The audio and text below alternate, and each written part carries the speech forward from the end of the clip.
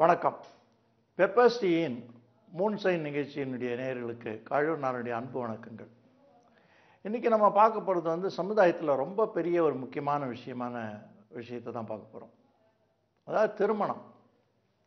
அந்த திருமணன்றத்தில் வந்து நமக்கு ஏகப்பட்ட சிக்கலாக்கி வச்சுட்டு இந்த திருமணம் பண்ணுறதுக்கு யாருக்குமே இன்றைக்கி வந்து தைரியம் இல்லை.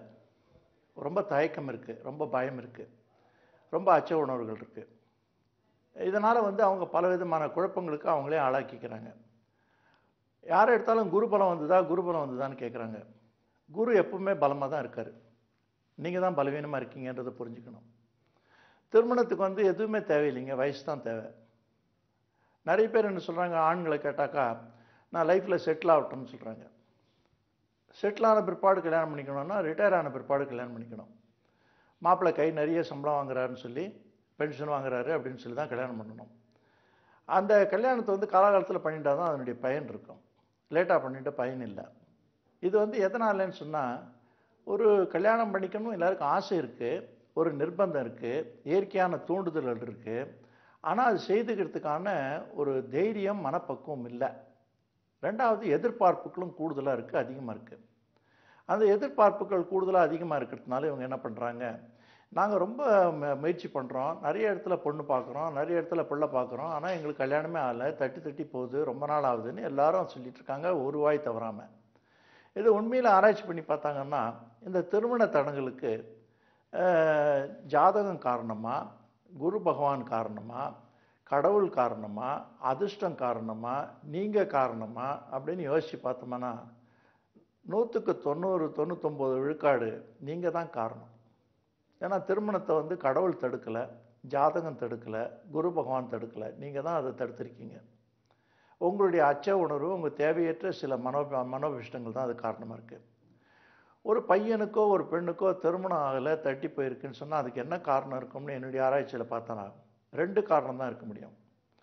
ஒன்று இவங்களுக்கு தகுந்த மாதிரி ஒரு ஆணோ பெண்ணோ இந்த உலகத்தில் யாருமே இல்லைன்னு அர்த்தம். யாருக்குமே இவங்க லாய்க்கு இல்லைன்னு அர்த்தம். ரெண்டாவது காரணம் என்னென்னா இவங்க நினைக்கிறதுக்கு உண்மைக்கும் சம்பந்தம் இல்லைன்னு அர்த்தம்.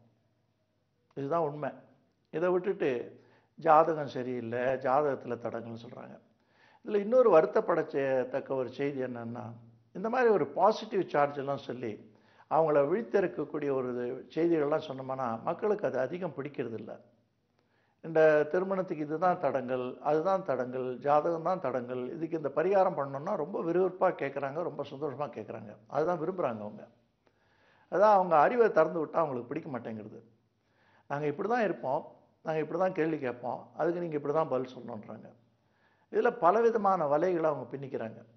முதல் வலை என்ன பின்னிக்கிறாங்கன்னா இந்த பெண்கள் வந்து எது வந்தாலும் தடுத்துருவாங்க. ஏன்னா குறிப்பாக தாய் அல்லது சகோதரி. அவங்க என்ன சொல்லுவாங்க இந்த பொண்ணு நட்டையாக இருக்குது கொட்டையாக இருக்குன்னுவாங்க. ஏன்னா அவங்களுடைய பாசம் ஜாஸ்தி. அதனால் அவங்க வந்து முதல்ல இது ஆகாது அது ஆகாதுன்னுவாங்க. ரெண்டாவது என்னென்னா எல்லாருக்கும் ஜோசியம் தெரியுது திருமணம்னு வச்சு இந்த நட்சத்திரம் ஆகாதுன்னுவாங்க அந்த நட்சத்திரம் சேராதுன்னுவாங்க. இதில் தோஷம் இருக்குதுன்னுவாங்க. இதே பேசிகிட்டு இருக்காங்க.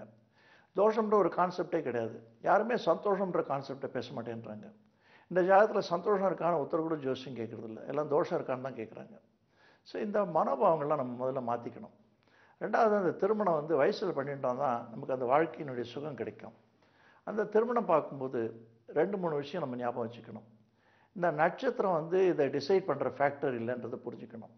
அந்த நட்சத்திரம்னு சொல்கிறது மூன்றாவதாக வரக்கூடிய விஷயம். அதாவது ஜாதகானுசாரணி திசா தசானுசாரணி புக்தி புக்தினுசாரணி கோச்சாராயத்தின்னு இந்த ஃபண்டமெண்டல் கான்ஸ்டியூஷன் ஆஃப் அஸ்ட்ராலஜி சொல்கிறது அப்போ என்ன அர்த்தம்னா ஜாதகம் தான் முக்கியம்.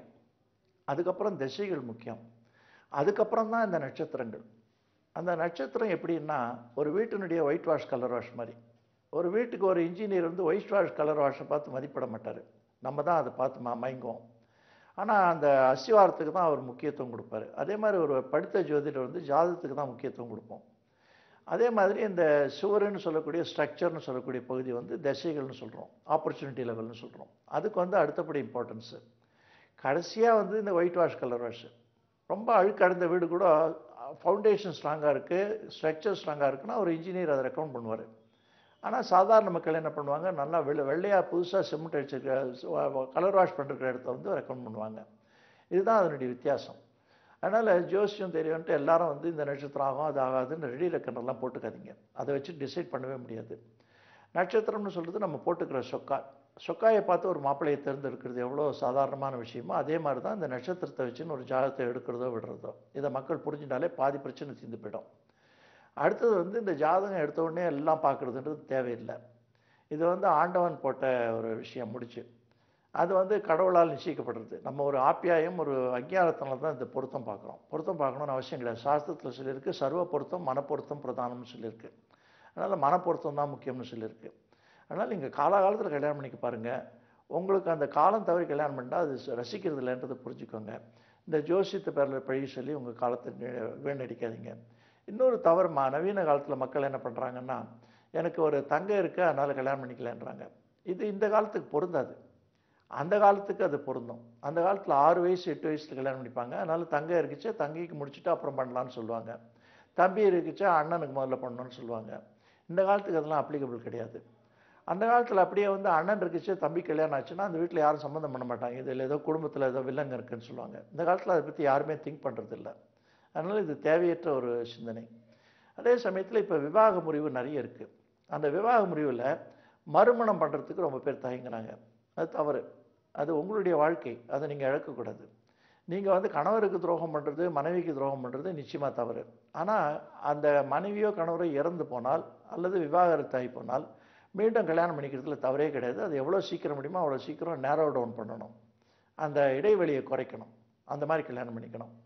அந்த மாதிரி பண்ணிக்கிறது தான் அழகாக இருக்கும். இந்த கல்யாணத்துக்கே நம்ம வந்து ஜாதக பொருத்தம் அவசியம் இல்லைன்னு சொன்னோம். அதே மாதிரி இந்த மறுமணத்துக்கு நிச்சயமாக அது அவசியமே கிடையாது. உங்களுக்கு தேவையான ஆணையோ பெண்ணையோ தேர்ந்தெடுத்து நீங்கள் வாழ கற்றுக்கணும் இது உங்களுடைய வாழ்க்கை. உங்களுடைய வாழ்க்கையை நீங்கள் இழந்தால் உங்களுடைய அறிவுக்கு நீங்கள் அவமானப்படுத்திக்கிறீங்கன்னு அர்த்தம். You should not insult your own intelligence அதனால் நீங்கள் உங்களுடைய அறிவை வந்து அவமானப்படுத்தாமல் உங்கள் வாழ்க்கையை கோட்டை விடாமல் கல்யாணம் பண்ணிக்கணும். இந்த திருமணம் பண்ணிக்கும்போது விவாகம் மல்யுத்தம் வித்யா விவாகம் மல்யுத்தம் சே சமயோரோச்சதைய சோபத்தைன்னு பிரமாணம் இருக்குது மூன்று விஷயங்கள் சமபலம் இல்லாமல் சுபிக்காது. அதாவது வித்யா படிப்பு. ஒரு பெரிய ஸ்காலர் இன்னொரு ஸ்காலரோட மணிக்கணக்காக பேசலாம். ஒரு படிக்காதவன் இன்னொரு படிக்காதவனோட மணிக்கணக்காக பேசலாம். ஒரு ஸ்காலரும் படிக்காதவனும் பேச முடியாது. அதே மாதிரி மல்யுத்தம். ஒரு ஹெவி வெயிட் சாம்பியன் இன்னொரு ஹெவி வெயிட் சாம்பியனோட ஃபைட் பண்ணலாம். ஹெவி வெயிட் லோ வெயிட்டோட பண்ண முடியாது. அதே மாதிரி விவாகம். விவாகத்தில் அத்தியோக ஜாதகம் ரெண்டு சேரலாம். மெத்தியோக ஜாதகம் ரெண்டு சேரலாம். அவயோக ஜாதகம் ரெண்டு சேரலாம். ஒரு அத்தியோகமும் அவயோகமும் சேர்க்கக்கூடாது. இந்த மாதிரி சில இன்ஃப்ளூயன்ஸ் இருக்குது அது தேவையான இடத்துல மட்டும்தான் பயன்படுத்தணும். ஒவ்வொரு இடத்துலையும் பயன்படுத்த தேவையில்லை. நிறைய பேர் வந்து இந்த ஜாதகத்தை கட்டுக்கட்டாக எடுத்துகிட்டு வந்து பார்க்குறாங்க. என்னுடைய அனுபவத்தில் நாற்பத்தைந்து வயது தொழில் அனுபவத்தில் இந்த அஹ், நிறைய பார்க்குறவங்க நிறைய ஜாதகம் வருஷக்கணக்கில் பார்க்குறவங்களுக்கு திரும்ப மாறுதில்லை. ஆனாலும் அது வெற்றி அடையிறதில்லை. அதனால் இது தேவையற்ற ஒன்று. அவங்க இந்த ஜாதகத்தையே குறை சொல்லிகிட்டு இருக்காங்க ஏன்னா அவங்களுக்குள்ளே இருக்கிற தவிர அவங்க உணர்றதில்ல ஒத்துக்கிறது இல்லை அதனால் இந்த மாதிரி விஷயங்கள்லாம் நீங்கள் தவிர்க்கணும். எல்லாம் முடிஞ்ச பிற்பாடு ஃபைனலைசிங் ஸ்டேஜில் வேணால் ஒரு திருப்திக்காக நீங்கள் வந்து பொருத்தம் பார்க்கலாம். இன்னொரு குறைபாடு என்னென்னா நம்ம உலகத்தில் யாருமே வந்து அம்மா அப்பாவை கேட்டுட்டு லவ் பண்ணுறதில்ல பொருத்தம் பார்த்துட்டு லவ் பண்ணுறதில்ல அதனால் லவ் பண்ணுறவங்க லவ் பண்ண பிற்பாடு வந்து பொருத்தம் கேட்காதீங்க. அந்த மாதிரி கேட்டால் உங்களையே நீங்கள் நம்பலைன்னு அர்த்தம். அடுத்தவங்களுக்கு நீங்கள் துரோகம் பண்ணுறீங்கன்னு அர்த்தம். அப்போ இந்த ஜாதகம் பொருத்தம் இல்லைன்னு ஜோசிச்சு சொன்னால் நீங்கள் விடுறதுக்கு தயாராக இருக்கீங்களான்னு யோசிச்சு பார்க்கணும். அதனால் ஒரு சமயம் நீங்கள் வந்து லவ் பண்ணிட்டீங்க கமிட் பண்ணிட்டீங்க ஒரு பெண்ணுக்கு உறுதிமொழி கொடுத்துட்டீங்கன்னா திருமணம் அட் எனி காஸ்ட் நீங்கள் பண்ணிட்டு தான் ஆகணும். அதை வந்து நீங்கள் ஜோசியம் கேட்டு பார்க்குறேன்னு சொன்னால் ரெண்டு பக்கம் நீங்கள் காலை வச்சுக்கிறீங்கன்னு அர்த்தம். அது தவறு. அதனால் அம்மா அப்பா வந்து ஒத்துக்கலைன்னா நீங்கள் ரிஜிஸ்டர் மேரேஜ் பண்ணிக்கோங்க. அதில் ஒன்றும் தவறு கிடையாது.